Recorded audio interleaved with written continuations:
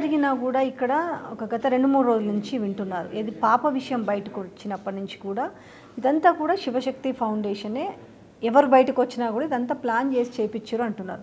So మీరు కూడా Shivashakti foundation చెప్తేనే ఇక్కడికి వచ్చారా? శివశక్తి ఫౌండేషన్ వాళ్ళే చెప్తే అంటే ఇప్పుడు ఈ ఇంటర్వ్యూ కూడా ఇక్కడ ఇచ్చేవాడిని కదా శివశక్తి ఆఫీస్లో ఇచ్చేవాడిని. లేకపోతే నేను ఎక్కడికి ఇచ్చినా వాళ్ళ మనుషులు నా వెనకాల ఉండేవాళ్ళు కదా.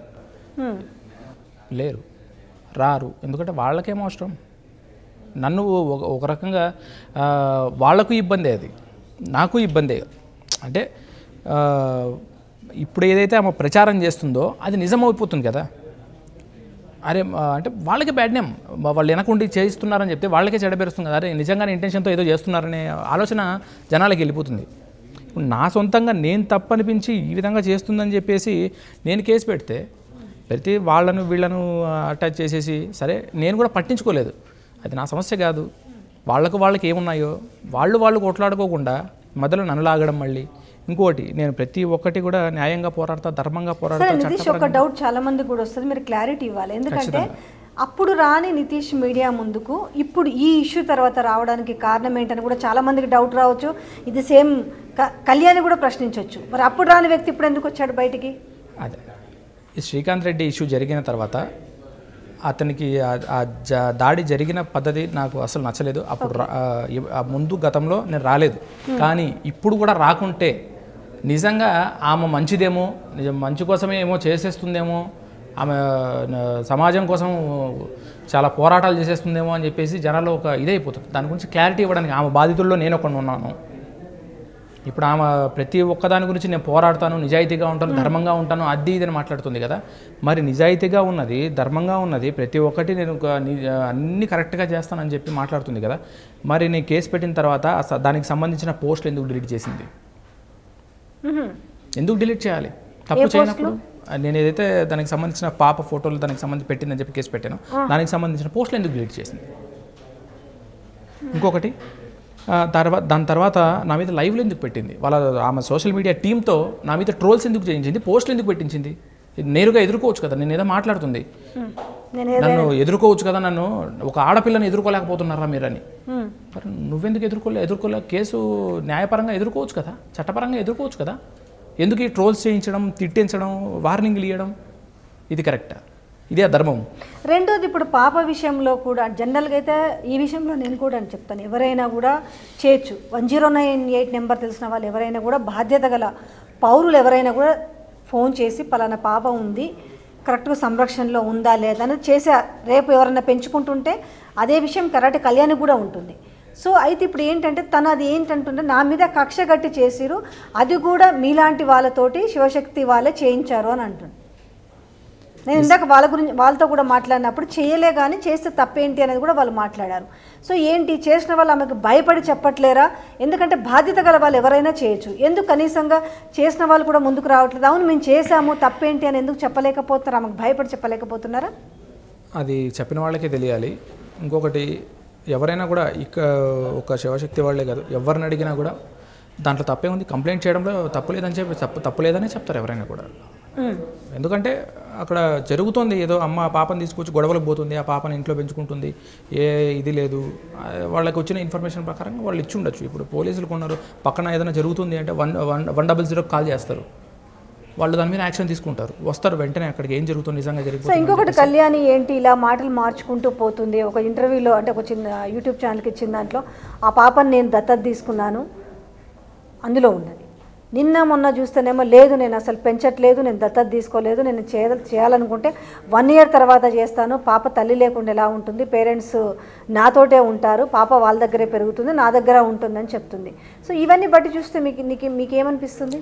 వాస్తవానికి నాకు నాకు సంబంధించిన సబ్జెక్ట్ కాదు నేను దీని గురించి మాట్లాడకూడదు. కాకపోతే సామాజికమైన అంశమే కాబట్టి జరుగుతుంది పబ్లిక్లో కానీ కాబట్టి నేను మాట్లా నేను మాట్లాడడంలో తప్పు లేదనిపిస్తుంది నాకైతే. కాకపోతే ఆమె రకరకాల ప్రచారాలు చేస్తుంది. నా మీద కానీ ఇంకోరి మీద ఇట్లా వీళ్ళు అన్ని దాంట్లో కలవ చేసుకుంటారని చెప్పేసి. నేను కాదు ఎవరిని అడిగినా కూడా దానికి సంబంధించి చెప్పడానికి ఉంటుంది. ఇప్పుడు సోషల్ మీడియాలో పోస్టులు పెడుతున్నారు రకరకాల కామెంట్స్ పెడుతున్నారు ఆ వీడియోల కింద. వాళ్ళందరినీ కూడా మనం ఆపలేం కదా. కాబట్టి నాకు నా బాధ్యతగా నేను చెప్పడంలో తప్ప తప్పు లేదనిపిస్తుంది. నిజమే వాస్తవమే. గతంలో వీడియోలు చూసాము. నేను అడా అడాప్ట్ చేసుకున్నాను తీసుకున్నాను. ఆ పాప గురించి కూడా ఎక్కడో పారేశారంట. తల్లిదండ్రులు పారేస్తే ఏమో తీసుకొచ్చిందంట. తీసుకొచ్చి పెంచుకుంటుందంట. ఓకే ఆ ఇన్ఫర్మేషన్ ఉంది. బహుశా ఆ వీడియో చూసే ఏమైనా కంప్లైంట్ చేసింటే చేసి ఉండొచ్చు వాళ్ళు. దాని తర్వాత నిన్నేమో వాళ్ళ తల్లిదండ్రులు మా ఇంట్లోనే ఉన్నారు. వాళ్ళు మే- మా దగ్గరే ఉంటున్నారు అని చెప్పేసి ఒకసారి రెండోసారి రెండో మాట. ఏం మారిందంటే అంటే మొత్తం మూడు అనమాట ఫస్ట్ నేనే అడాప్ట్ చేసుకున్నాను. రెండోది ఆ తల్లిదండ్రులు నా దగ్గరే ఉంటున్నారు. మూడోది ఆ పాప వాళ్ళ ఇంటికి వెళ్తుంది మా ఇంటికి వస్తుంది. ఇన్ని రకాల మాటలు మారుస్తుంది. కానీ నేను నిజాయితీగా ఉంటాను ధర్మంగా ఉంటాను నా సత్యం నా వైపు ఉంది జనాలు నా వైపే ఉన్నారు హిందూ సంఘాలు నా వైపే ఉన్నారు సినిమా ఇండస్ట్రీ నా వైపే ఉంది. ఏం మాట్లాడుతున్నా ఆమెకి అర్థం కాదు. మరి జనాలకైనా జనాలకు తెలుస్తుంది ఇప్పుడు నిజంగా. వాళ్ళు అన్నీ చూస్తుంటారు కాబట్టి వాళ్ళకి కూడా అర్థమవుతుంది ఆమె స్టాండ్ ఏంటి అని చెప్పేసి. ఆమె ఒక సేఫ్కే మారుతుంది. నేను నిన్న ఒక వీడియోలో ఒకరికి చెప్పాను నేను ఒక ఒక చోట. ఎందుకు ఇక్కడ రెండు రోజుల నుంచి కనిపించట్లేదు నిన్న నుంచి అని చెప్తే అన్నీ ప్రిపేర్ చేసుకొని రావడానికి టైం పడుతుంది కదా. హ్మ్. అందుకే టైం పడుతుంది. అవన్నీ డాక్యుమెంట్ దానికి సంబంధించిన డాక్యుమెంట్స్ తను ఏమంటుందంటే ఇన్ని కావాల్సుకొని నా మీద ఇది చేస్తున్నారు కానీ నేను చేసే ఒక మానవత్వం కనిపించట్లేదా? ఆ పాపని కానీ లేకపోతే ఇంత పెంచుకు ఇంతకుముందు పెంచుకున్న బాబు విషయంలో కానీ ఎందుకు మీకు మానవత్వం కనిపించట్లేదా అని కూడా మాట్లాడుతుంది. మేడం సమాజంలో ఈ మొక్కటే కాదు కదా చాలామంది అడాప్ట్ చేసుకునే వాళ్ళు ఉన్నారు. అంటే మరి మీలాంటి వాళ్ళు ఓకే ఉన్నారు. మీలాంటి వాళ్ళు మరి మీకు అంతా ఉంది సమాజంలో అందరికీ బాధ్యత ఉంటే శ్రీకాంత్ రెడ్డి లాంటి వాళ్ళు అంత వెదవ కంటెంట్ చేస్తుంటే మీలాంటి వాళ్ళు ఎందుకు వెళ్ళి ప్రశ్నించడం లేదని కూడా? నేను చూడలేదండి. బాధ్యత లేదా? నాకు నిన్న కరాటే కళ్యాణి దాని మీద ఇష్యూ చేసే వరకు శ్రీకాంత్ రెడ్డి ఎవరో నాకు తెలియదు. ఎందుకంటే నాకు ఆ కంటెంట్ అవసరం లేదు. నాకు ఎప్పుడు కనపడలేదు. ఇప్పుడు నేను దాని గురించి సెర్చ్ చేస్తే కదా నాకు ఆ వీడియోస్ వస్తాయి. దాని గురించి నేను సెర్చ్ చేసి ఎప్పుడు చేయలేదు. నా నేను ఎప్పుడు దేవాలయాలు గుళ్ళు ఏదైనా మంచి మంచి ప్లేస్లు ఇవి ఇవి చూస్తుంటా ఆధ్యాత్మికంగా నాకు ఎక్కువ ఇష్టం. అవే నేను చదువుతుంటా అవే పోస్టులు చేస్తుంటా. నాకు దానికి సంబంధించిన వీడియోలు వెతుకుతుంటా లేదా ఏదైనా న్యూస్ చూస్తుంటా అంతవరకే కానీ ఆ వీడియోస్ ప్రాంకులు ఇవన్నీ నాకు నచ్చవు. నేను చూడలేదు నాకు కనపడలేదు. అంతే. సింపుల్. సో ఇప్పుడు మళ్ళీ మీకు ఏ విషయంలో బెదిరింపులు స్టార్ట్ అయినా మీరు మీడియా ముందుకు వచ్చిన తర్వాత? మీడియా మీడియా ముందుకు వచ్చిన తర్వాత నేను లైవ్లో చూపిస్తాను ఆమె మాదిరి నేను అలగేషన్స్ చేయను. నేను లైవ్లో నా మీద ఏ విధంగా పోస్టులు పెడుతున్నారు అని చెప్పేసి నేను లైవ్లో చూపిస్తాను నేను. ఎంత దారుణంగా మాట్లాడుతున్నా. ఆమెకు సంబంధించిన సోషల్ మీడియా టీము ఒక అతను బత్తుల మల్లికార్జున్ అని చెప్పేసి గుంటూరులో సోషల్ మీడియా టీం కూడా ఉందా? ఉంది ఉంది. ఆమె కోసం పనిచేస్తుంది. బత్తుల మల్లికార్జున్ అని చెప్పేసి గుంటూరులో ఉంటాడు. అతని మీద కూడా కేసులు ఉన్నాయి. రీసెంట్గా అతనే చెప్పుకున్నాడు నా మీద కేసులు ఉన్నాయని చెప్పేసి. అతను ఇంకో అతను కుంభాలస్వామి. అదే ఇందాక నేను చెప్పాను కదా ఇరవై ఐదో తారీఖు ఉదయం పది గంటలకు ఆమె మీద ఎఫ్ఐఆర్ అయిందని చెప్పేసి మీడియాలో వచ్చిన తర్వాత అదే రోజు మధ్యాహ్నం మూడున్నరకు నా మీద ఒక కేసు పెట్టించింది కౌంటర్గా. ఏ రోజు అది? అదే రోజు.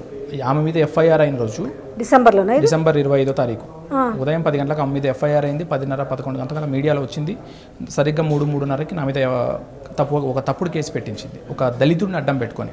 ఏమని పెట్టించింది? నేను వాళ్ళ ఇంట్లో వాళ్ళని ఏదో తిట్టానని చెప్పేసి ఒక ఫేస్బుక్ కామెంట్ అంటే నా పేరు మీద నా ఫోటో వాడుకొని ఒక ప్రొఫైల్ తయారు చేసేసి దాని నుంచి ఒక కామెంట్ చేసి అది స్క్రీన్ షాట్ తీసి ఇలా అన్నాడు నితేష్ అనే వ్యక్తి అని చెప్పేసి పోయి కంప్లైంట్ అట్రాసిటీ కేసు పెట్టించింది. అట్రాసిటీ కాదు అట్రాసిటీ పట్టించడానికి ట్రై చేశారు. కాకపోతే వాళ్ళకు అంతగా తెలిసినట్లేదు. ఫేజ్ ఏ విధంగా కేసు పెట్టాలంటే ఏ విధంగా రాయాలని తెలిసినట్లేదు.